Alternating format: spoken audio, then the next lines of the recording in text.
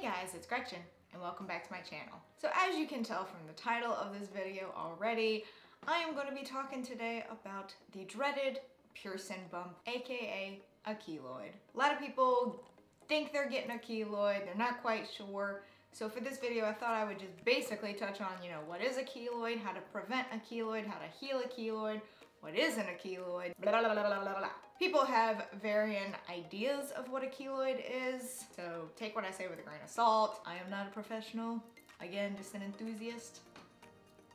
Take that as you will. If you think something is a keloid or you think maybe it's an infection, please seek help. Do not ask me because I am not a professional.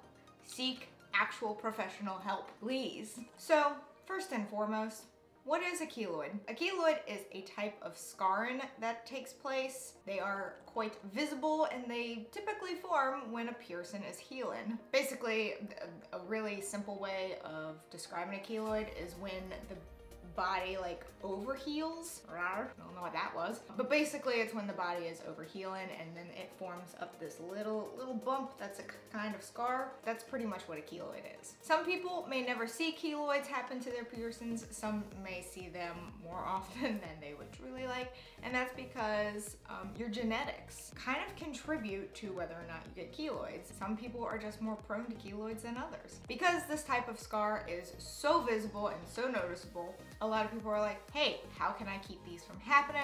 Or if I do get one, how do I cure it? Unfortunately, there is no 100% method or, or route you can take that will prevent a keloid from forming. However, treatment as well as cleaning can help minimize the visibility of a keloid. Yeah, cleaning is gonna help visibly diminish it, but if a keloid is gonna form, it's gonna form. And unfortunately, this is a case of trial and error. You just have to keep trying things out, hopefully not irritating it anymore, but you just kind of have to mess around with it to figure out what's gonna work for your body. You know, sometimes the salt soak doesn't work for people, but maybe like the paste that people make does, and vice versa. Those are just two methods. There are other ones like tea tree oil. Sometimes that works for people, sometimes it doesn't. So if you have the dreaded piercing bump, how do you take care of it? How do you get rid of it?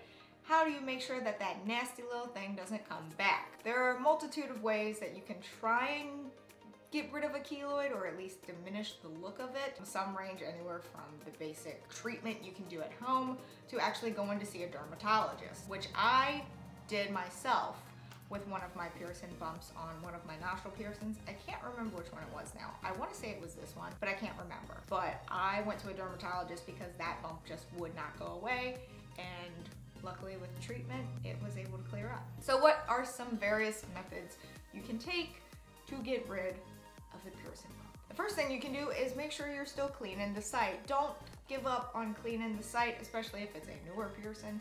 Keep cleaning it, keep using your you know, if you're using your H2 Ocean or an antimicrobial soap, I will leave links to both that I recommend in the description below. There's one antimicrobial soap that I love and swear by.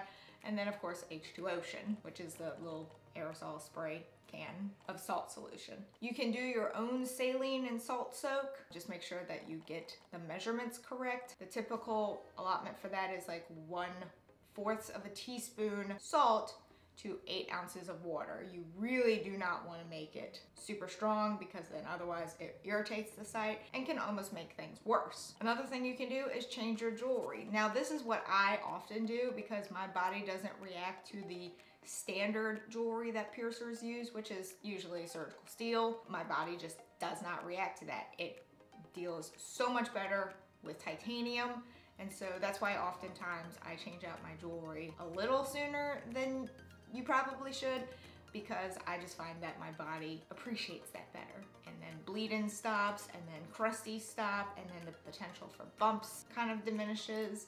So maybe you've got a metal allergy and you need to change out the jewelry because your body's not happy with it. So then two other things that you could do, this is where you need a dermatologist. I had one of these done. One thing you can get done is cryotherapy. Basically, it freezes the bump. It makes it less visible, it can get rid of it. It's kind of hit or miss, trial and error but basically they'll just get to the site and freeze it. The other thing you can do are corticosteroids. I said that really fast and I'm not sure I said it correctly, but corticosteroids. What this does is it reduces inflammation. That's the thing that I had done. I went in to a dermatologist and I had like a bump on my arm. Didn't even go in for the keloid. Had a bump on my arm and I just wanted them to like take care of it or at least like flatten it out. And so they, they shot that with a corticosteroid. And while they were doing that, I was like, hey, I have this bump on the side of my nose. Is there any way we could maybe possibly try that on this? To which they did. The bump was gone in 48 hours. It was the most miraculous thing I've ever seen, which isn't saying much, but whatever. So those are other methods. They're a little bit more expensive. They're not the ones that you can just easily do at home, but they work. And I mean, it, it doesn't just like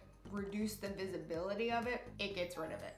At least it did for me. And then another thing you can use at home is tea tree oil. However, I cannot stress it enough, make sure you dilute the tea tree oil. Do not just take a little bottle of tea tree oil, put like it on a Q-tip, and then shove it on the site. You need to dilute it because tea tree oil can be pretty abrasive. And once again, you don't want to irritate the site any more than it already is. So if you do go tea tree oil route, please dilute it first. So now that we know what a keloid is, how you can potentially prevent it, and how you can possibly heal it, what isn't a keloid? One thing to keep in mind, keloids are typically not painful. If it's painful, if it's hot, if it's oozing, if it bleeds, and if it just hurts, that's an infection. That's not a keloid. Keloids really do not hurt. They're just a scar, like any other type of scar.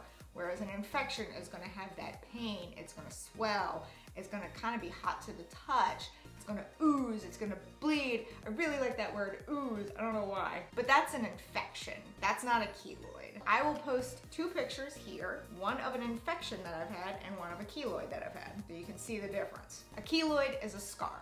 An infection is an infection. They're two very different things. So please try not to get them confused.